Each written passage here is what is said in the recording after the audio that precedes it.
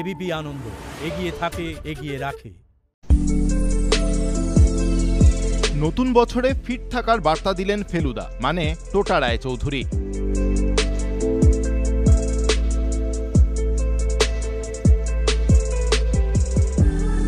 শুটিংয়ে বা অন্যান্য কাজে যতই ব্যস্ত থাকুন না কেন শরীর চর্চার সঙ্গে টোটা কোনো আপোষ করেন না। বাড়িতে অভ্যেস করেই টোটা আয়ত্ত করেছেন বার ইয়োগা ইউরোপের ব্যালে শিল্পীরা নিজেদের কুশলতা বাড়ানোর জন্য এই বার ইয়োগা অভ্যেস করেন। টোটার সেই বার ইয়োগার ভিডিও নিয়ে হাজির অনুরাগীদের জন্য।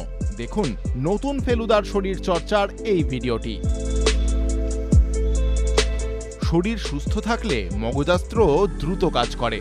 ফেলুদার কথায়, সাফল্যের জন্য সুস্থ রাখতেই হবে শরীরকে। নিয়মিত করতে হবে শরীর চর্চা।